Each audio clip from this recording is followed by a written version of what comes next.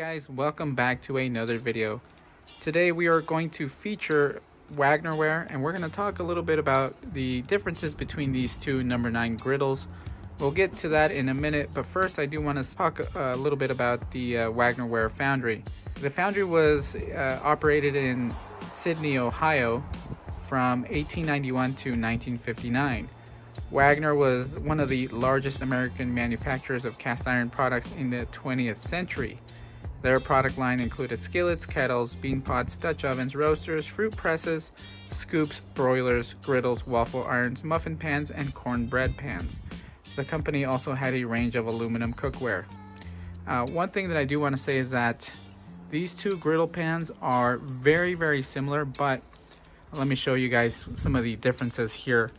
Uh, here the handle you can tell is a little a little bit more rough around the edges in a sense compared to this one here. Uh, the one on the right here is my brother's uh, griddle and the one on the left is my griddle. But let me show you the underside so you guys can take a look. This is the underside of the griddles. Here is the number 9 Wagnerware that is mine. And this one here is the Wagnerware griddle number 9 that is my brother's. Now, both of these skillets have, or griddles, have the Wagnerware stylized logo. Now, the biggest difference here is that this one here says Sidney O, and this one does not. This one actually does not have any um, any other information except for the size of the griddle, and it also has a Made in USA stamp on it. This one also has just a four-digit number along with a letter. And one thing that I just want to mention is the biggest difference that you can see of how smooth the casting process was in the earlier manufacturing of the 20s and 30s versus the later where you can see it's very rough and almost um, just not not a good casting I'll be honest. The casting on these not the best. And I have several of these uh, Wagnerware skillets that have the made in USA on the bottom. And uh, you know they're usually warped. This one here is actually warped um, and it's a lot thinner. So thinner warped. The heat ring is not as pronounced on this one. I'm trying to see if I can show you guys. Heat ring not as pronounced versus this one where the heat ring is very very pronounced and it's a lot thicker. Now one thing that I also want to mention is how heavy the uh, skillet is on the left versus the one on the right. So I do believe that the manufacturing was a lot better in the 20s and 30s and even prior to that. So anyway, with that, let's see how well they do and if there's any differences in how well they cook. Okay guys, first uh, for this test, we're gonna be using the griddle uh, from the 1959s and up and this is my brother's griddle so let's see how well this one does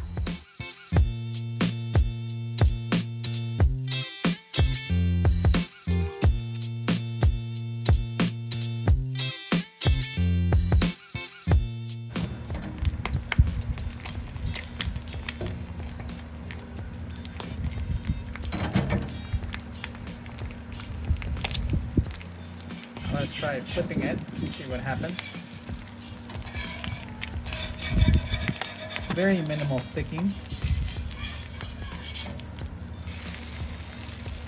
The underside also, with the seasoning that we built up, looks to be okay. No black residue, which I'm very happy for.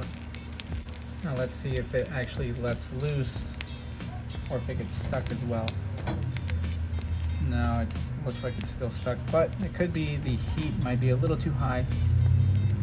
Now, one thing that I will say is that heat is the main factor for whether your uh, skillet is going to perform well with sliding eggs. Most of the time, that is one of the main reasons why you have a lot of food sticking. But with a little bit of work with the spatula, it, it still do, does a great job.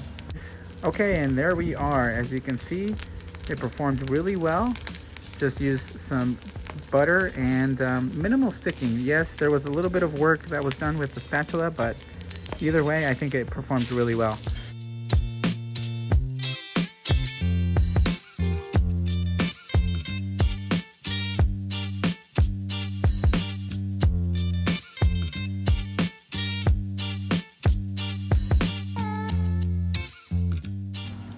Right, guys, so I did tilt it already a little bit and I can already see a difference. Um, I don't know exactly why. I don't know if this it's the seasoning that I have already built up on my griddle, but I don't think this one's sticking. And we're using the same amount of heat and the same time. I preheated these for about a minute. There's minimal sticking now that I, you know, now that the pan has come up to heat, but I think there's just a tiny, tiny tad less. And uh, one thing that I do want to mention about this one is that this one is thicker. This one, the iron all around is just thicker and it is heavier. So there might be a difference in that sense. This one didn't overheat as much as the first one, but I think we're getting slightly better results in this one than I was in the uh, in the newer, the after the 1959 um, Wagner Wares uh, griddle. It still has tendencies to stick, but overall it's still doing a great job and uh, it's sliding around. So we're having better results on the older model.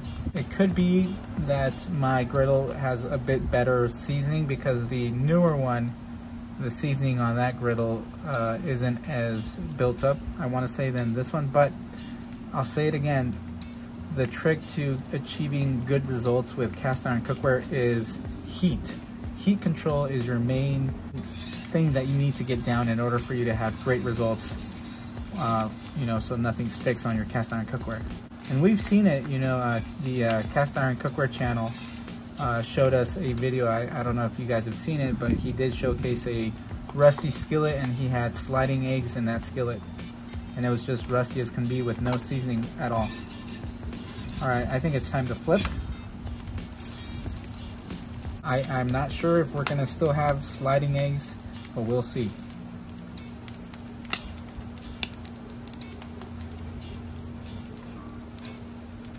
No, and I, it appears they have stuck. We're gonna turn down the heat just a tiny tad. But how badly have they stuck? Not as badly. And this one, a little bit of work with the spatula and we have no problem at all with uh, sliding eggs.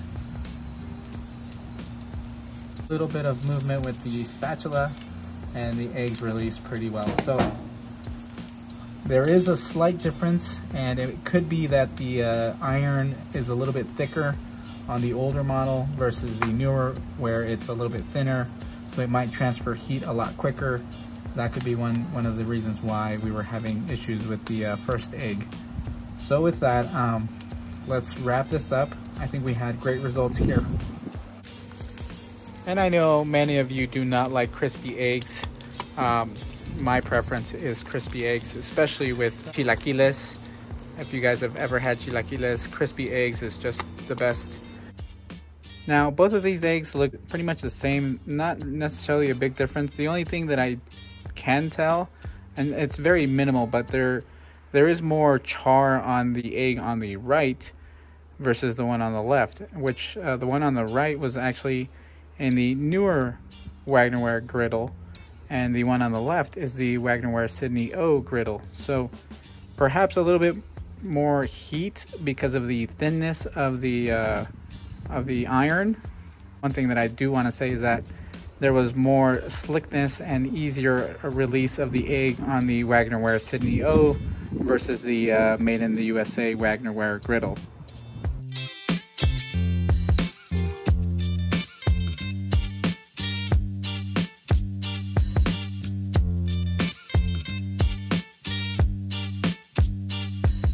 And uh, with that, I will see you guys in the next video. If you guys have any questions or anything you want to add to this, please let me know in the comments.